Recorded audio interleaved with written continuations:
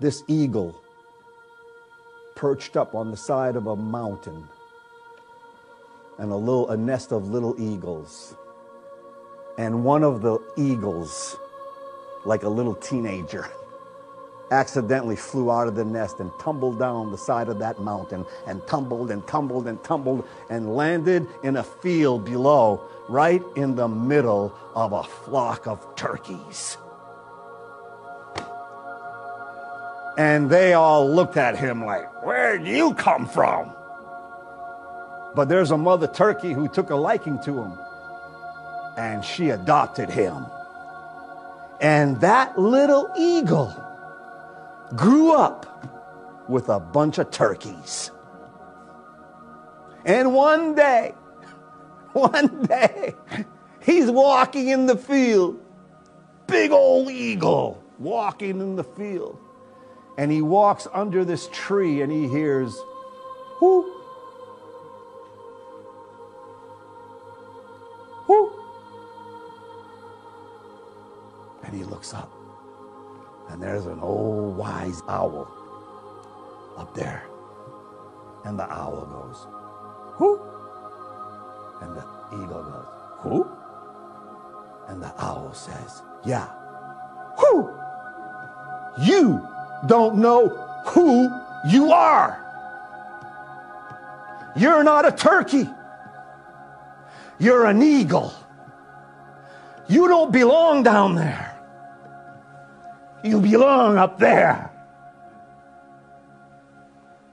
And that turk, that eagle, looked at himself and spread his wings and went, poof, poof, poof, and took off and began soaring in the sky.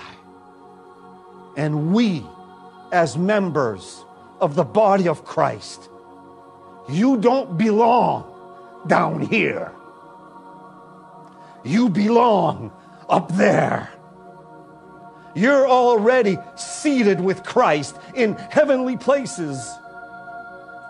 We are the only people in the world who can look at this world from a different vantage point than everyone else.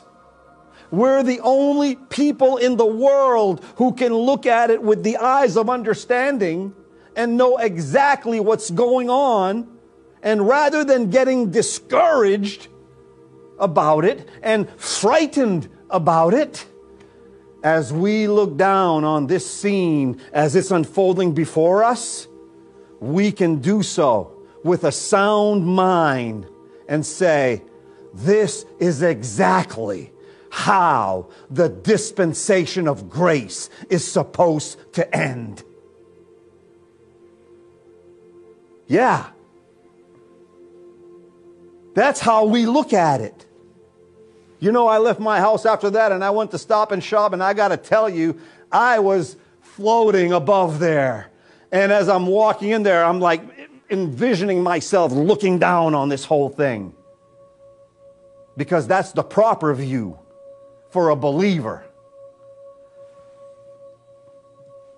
What are many people doing though that believe? They're, they're trying to make it not happen. They're trying to stop what is happening from happening because they're not looking at the world from the right vantage point. They're looking at it rather than from a bird's eye view, they're looking at it from a turkey point of view. And that's all they can see.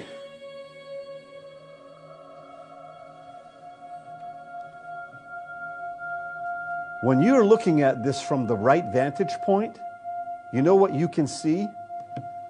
You look at it from here, and you can look down and you can say to yourself, Who can I rescue from this sinking ship? That's what you can do. Not what can I do to patch up this sick, this sinking ship and keep it from sinking. No, folks, this ship is sinking. This ship is sinking. and you're on it. So, what can I do to rescue some of the people who are inevitably going to die in this ship and go to hell? What can I do? See, when you leave the lofty perch of your position in Christ, from where you can view the scene that's unfolding before you with clarity, and you come down into the field where you're surrounded by a bunch of zombie turkeys who have no idea who you are. They have no idea what you're doing here in this world because they don't know what they're doing. But they don't have any idea what you're doing. And then you, you join them and you double their confusion in, in their efforts to patch up the sinking ship that we're all on. I mean, if you're involved in the mess this world is in and you're trying to fix it, here's one thing that you're not doing in this war. 2 Timothy chapter 2, Paul said, No man that warreth entangleth himself with the affairs of this life, that he may please him who hath chosen him to be a soldier, a soldier. Are there affairs going on around us that have caused you to take your eyes off the goal that is set before you? I mean, how many of you are listening to me, both here and online, that have forgotten that you are in a spiritual war, but now you're entangled, you're more entangled in the affairs of this life? Don't raise your hand. I know some of you, some of you are. You know, there's a group in the Old Testament, and you can be thankful that what happened to them will not happen to you. It's found in Judges chapter 5 and verse 23, the Bible said, Curse ye Meroz, or Meroz, said the angel of the Lord. Curse ye bitterly the inhabitants thereof. Why? Because they came not to the help of the Lord, to the help of the Lord against the mighty. When you get entangled in the affairs of this life, spiritually, you become useless, as useless as all the people who are involved, more involved in political events surrounding them than the work of the Lord. You have become entangled. Have you ever put away some rope? Put it away nicely. Yeah. And you come back there one day and you try to find the end and you can't find it. And when you pull it, ah!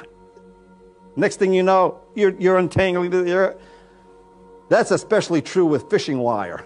You ever had a fishing wire that got uh, you have to throw it away because it becomes useless. You start unwinding it, you can't do it. You get a bird's nest. You know, in that condition, a rope or a fishing line or an electrical cord are all useless until they're untangled. Every single one of them. So Paul said, No man that warreth entangleth himself in the affairs of this life. And I submit to you that if you are entangled in the affairs of this life, you are useless for the Lord.